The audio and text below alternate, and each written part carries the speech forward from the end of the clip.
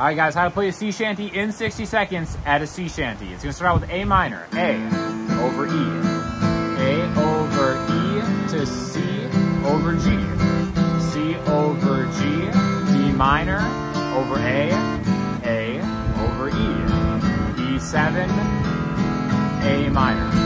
So the important thing is to get yourself an emerald guitar, carbon fiber guitar first so it doesn't break when you break it out into the C, right? After that, you gotta go back and forth between the root notes. So A, E, A minor. The only thing that's changing is the root chord. It's a, it's a three count, root chord, chord, it's fifth chord, chord. Same thing with the C over G. C, bass note G. D minor, D, bass note A, A minor, bass note E, E7, C shanty chord.